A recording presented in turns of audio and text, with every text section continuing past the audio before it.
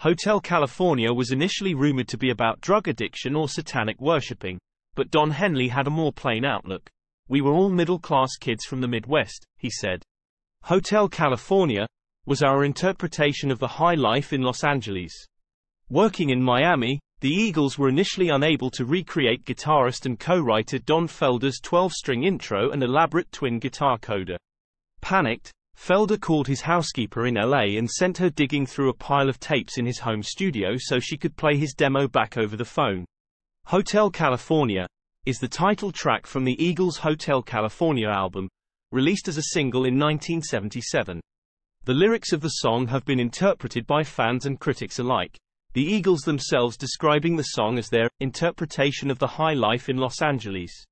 In the 2013 documentary History of the Eagles, Henley said that the song was about a journey from innocence to experience. That's all. A demo of the instrumental was developed by Don Felder in a rented house on Malibu Beach.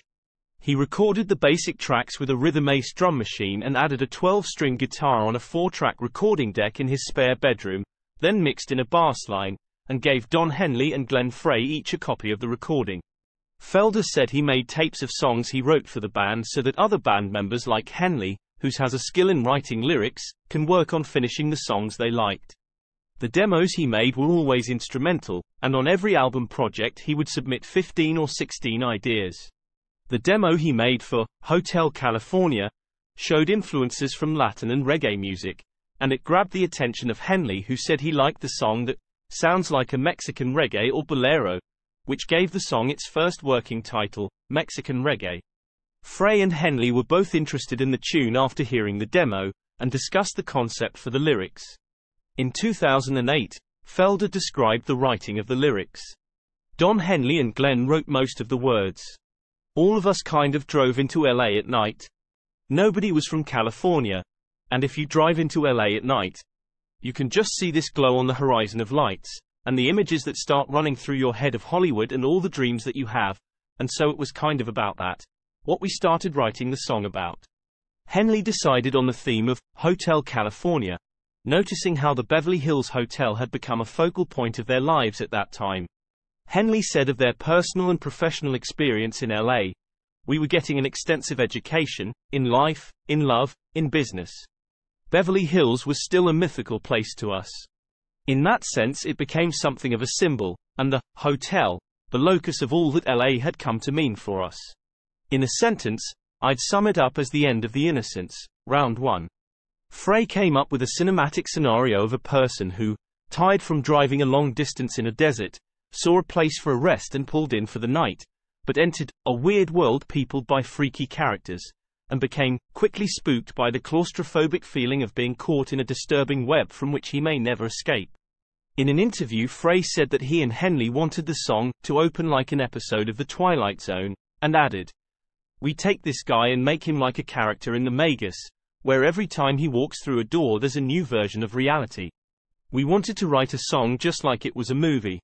Frey described the song in an interview with NBC's Bob Costas as a cinematic montage, just one shot to the next. A picture of a guy on the highway, a picture of the hotel, the guy walks in, the door opens, strange people. Frey continued. We decided to create something strange, just to see if we could do it. Henley then wrote most of the lyrics based on Frey's idea, and sought inspiration for the writing by driving out into the desert as well as from films and theater. Part of the lyrics, such as, Her mind is Tiffany twisted, she got the Mercedes Benz, she got a lot of pretty pretty boys she calls friends, are based on Henley's breakup with his girlfriend Loree Rodkin. According to Frey's liner notes for the very best of, the use of the word, steely, in the lyric, they stab it with their steely knives but they just can't kill the beast, was a playful nod to the band Steely Dan, who had included the lyric, Turn Up the Eagles, the neighbors are listening, in their song, Everything You Did. Frey had also said that the writing of the song was inspired by the boldness of Steely Dan's lyrics and its willingness to go out there, and thought that the song they wrote had achieved perfect ambiguity. Henley decided that the song should be a single, although Felder had doubts and the record company was reluctant to release it because, at over six minutes, its duration far exceeded that of the songs generally played by radio stations. The band took a stand and refused the label's request to shorten the song. Commercially, Hotel California reached the number one position on the Billboard Hot 100 and reached the top 10 of several international charts. The song is considered the best known recording by the band, and in 1998 its long guitar coda was voted the best guitar solo of all time by readers of Guitarist.